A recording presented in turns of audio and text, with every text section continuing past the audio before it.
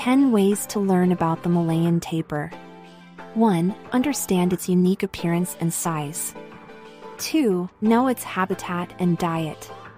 3. Appreciate its solitary behavior. 4. Become aware of its endangered status. 5. Recognize its long gestation period. 6. Observe its mother's care of the calf. 7. Acknowledge its importance in the ecosystem. 8. Realize threats from habitat loss and hunting. 9. Support conservation efforts to protect habitats. 10. Respect this unique animal's survival.